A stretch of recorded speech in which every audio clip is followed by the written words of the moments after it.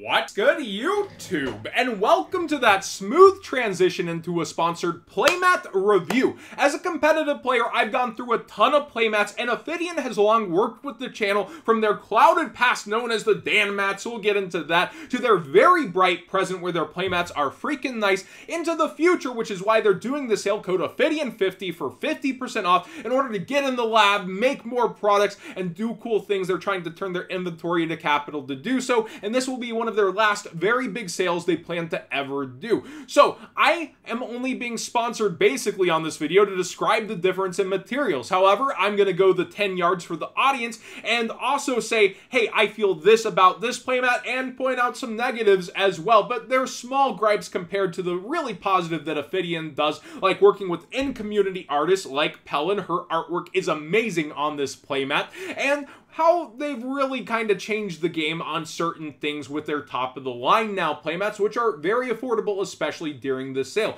I think it's like $30 for their top playmats right now. And they don't just make their designs go away. They do some limited colorways at times, but a lot of their designs stick and you're able to get them whenever you want. So this is the Ancient Rivals basic bare bones velvet playmat. They have velvet, velvet stitched, suede, and suede stitched. And you might be wondering, what am I paying for for the extras? And Ophidian's been hearing that a lot, which is why they wanted me to do the video. So again, this is the basic velvet. There's no stitching on the corners. And I actually do have this first small gripe there with any of their playmats that out of the bag you have these and you can just cut them off. But whenever I get a new product, I'm not necessarily having to want to work on the product that I'm buying. Past that, zero gripes on this playmat and only compliments. It passes what I call the drag test with sleeves. Used to, they had raised ink on their playmats in the very far past, where the name would come off and people joked about Dan mats. Now they've gone to the industry standard, along with when it was being set as an industry standard, of burned in ink, and it's extremely nice, as you can see on the blue eye side. I think the Dark Magician was a little ambitious, but he's meant to be a mysterious figure. His eyes don't come out the most clearly, but the rest of the design,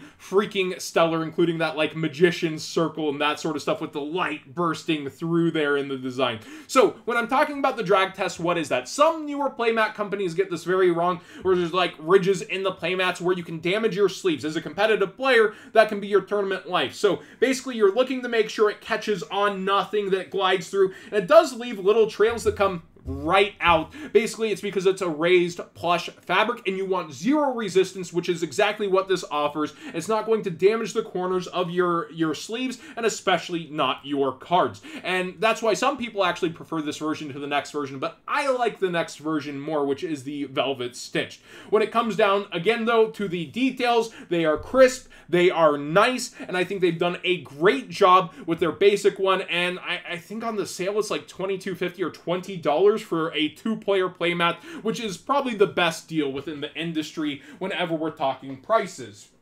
Next up, we have their Velvet Stitched, and I think this just looks a little more premium and together as a whole. This is right out of the bag, so you're going to get that raise that you have to play on like how the other one has, but you can see here the back stitching is done so well, so tight. A lot of companies don't get that done that well, and then you can see here it kind of transitions into the material on the front. However, you do have to be a little more wary with your cards. Some people like that other playmat because they don't have to think about this, but let's say I set a back row, right? And I go, I activate my trap card. If I go all the way to here, it can catch a little on the stitching, and you don't want that to happen where it's going to actually like damage your card sleeve corner over time. Not the card itself, your sleeve's what is in danger of becoming a marked card. So basically, you have to be a little mindful of that and pick it up before it gets to that point. It's not too hard, it's just something you've got to keep in mind. Again, the material super nice, super plush for what it is, but not as plush as the next mat, which again goes to an upgrade. But I think this is a great version to have, and I like it. But if you don't mind cutting off a couple strands, then the other one is cheaper, as well as not having to worry about catching those card corners.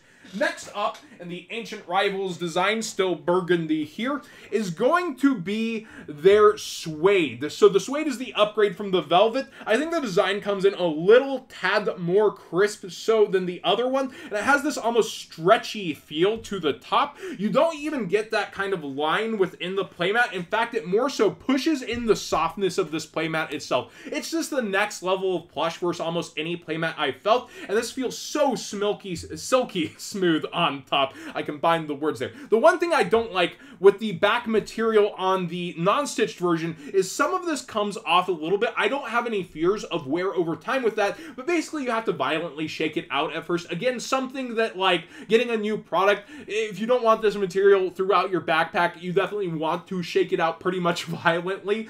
But again, I personally find that to be a small gripe with such a good playmat in general. And the next version, I had zero problems with that, which is going to be the Suede Stitch. So basically, that small upgrade can save you a lot of headache. In a sense, none of it's going to be coming out from there. And the top material just so seamlessly in there when it comes to the stitching. Again, I wouldn't necessarily risk going back through with the drag test because it's still going to catch against the thread at certain points. There's less danger of it with this mat than the other one, but it's not something I would be risking during a tournament. So again, if you're like flipping a card, flip it sideways like that. Don't just drag it all the way to the back and off of the mat. It's basically don't do anime style dueling, right? But when it comes to this playmat, again, it's got that kind of give to it that's really just plush and nice. And with the back, which is a Sherpa-like material on the suede, it's the most plush mat I felt pretty much since the 94 Spellgrounds, which have that back, and Jim's done a playmat like that in the past too. It's very hard for companies to consistently do a nice plush backing, and it's easier on the wrist, it's nice, it's comfy, and the top material so much of an upgrade. I, I don't even know how to describe it other than it is so nice and smooth and back and forth. And it's got that you can crumple it up, throw it in your bag feel, which a lot of playmats you're not as comfortable doing with, right? So that's the differences in materials. And my small gripes, again, are with the basic velvet and the basic suede. They're completely eliminated by the stitching as a whole. And again, they're small, easy fixes. I also want to show off a couple more designs. Again, they're not paying me to do this part. This is all me. I love how vibrant their different mats are. Take a look at this. This is one of their Pokemon-themed playmats. I love Ruby and Sapphire. The secret bases are my jam. And when it comes to these whites into yellows into, like, just crazy different gradients, you can really see it on this playmat and how good it looks. The range between whites and yellows is hard for some companies to do, and they get it here into the dark, deep, rich magma look just oh so right. This also, the backing I suppose I should show on the Velvet, is a canvas-like material that is not rough like canvas, but basically it's that tight knitting, and I think it's better than a lot of companies when it comes down to it, especially for such a cheaper option versus other companies. Next up, I wanted to show their greens into different greens into yellow kind of thing with their Broly two-player playmat. You basically have two different designs for Broly, and I think they, it's one of my favorite colors of green, that dark emerald swirling black green. Uh, but seriously, I love the range, the different kind of fan art that they do within their playmats and then better effects than the CGI in the new Little Mermaid movie. They have this purposeful blur like you're underwater, and they have a whole kind of theming, but this is their one player, about the size to expect. Like, let's put the card sleeves on it. So if you're not wanting to share your mat or have a folded mat, that kind of thing, this is their one player. Very simple, much smaller. I personally would prefer the two players as a whole, depending on the design. Finally, they have one other kind of playmat, which is their rubber mat, which comes stitched. Again, be careful going to the edge. And I do feel like it's just such a premium feel to have that cloth. This is cloth matting on top of rubber. No other company is doing stuff like this. And I think this is so freaking cool. Again, passes the drag test, but there is more heft to the back of the mat, so you want to be careful how much pressure you're putting on the card like you pretty much would with a regular rubber mat, but that cloth feel is so premium. It does give a little bit more resistance going in one specific direction, though. Let me actually test that. No, it slides right through even when it's raised. Good for it. No problems at all. So when it comes to that, it's still zero resistance on your card and actually is more give to the mat. I don't know how this will wear over time because it's new, but this is the kind of stuff Ophidian's trying to do by doing this sale and turn their actual current inventory into capital so they can get in the lab, do new cool things, and this like who, who's doing cloth on top of rubber that actually feels good feels right and i could honestly suggest to my audience i really think this is something neat and on the sale you should probably check it out and the rubber backing is actually a lot more premium than many companies will do as well like it you can see here like out not marked at all like it's it's nice. It's heavier, heftier than a lot. But hey, if you have a bad back, maybe you want to keep your backpack lighter. So that's my take on Ophidian. Again, very small gripes. They've come a long way from where they used to be within the community and in the industry, and they're trying to do even cooler things in the future. Uh, I do believe, actually, uh, before I say goodbye, yeah, I wanted to actually show uh, the experience of opening. They have the kind of frosted matte bag. A lot of people do that. But they have two iconic designs, and I wanted to show more color ranges. I almost forgot to do this. When it comes to the Dragon Rulers, this is iconic art within our industry. Oh my freaking gosh.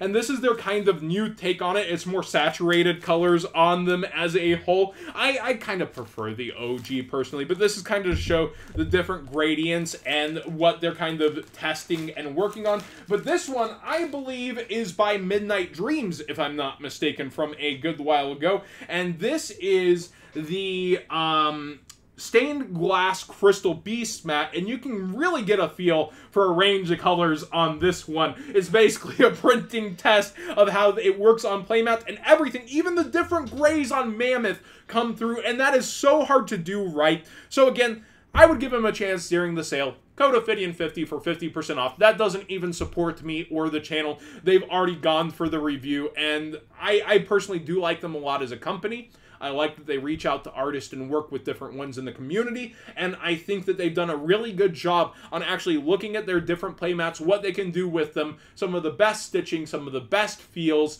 and when you're upgrading, you actually feel the upgrade you're paying for. Thanks for watching today's video as I smoothly go back here, and let me know what you think of Ophidian mats, and if you're going to pick up any of the designs on the sale there's a lot to check through on there with some designs you might actually recognize very historic within the community. Thanks for watching, everybody.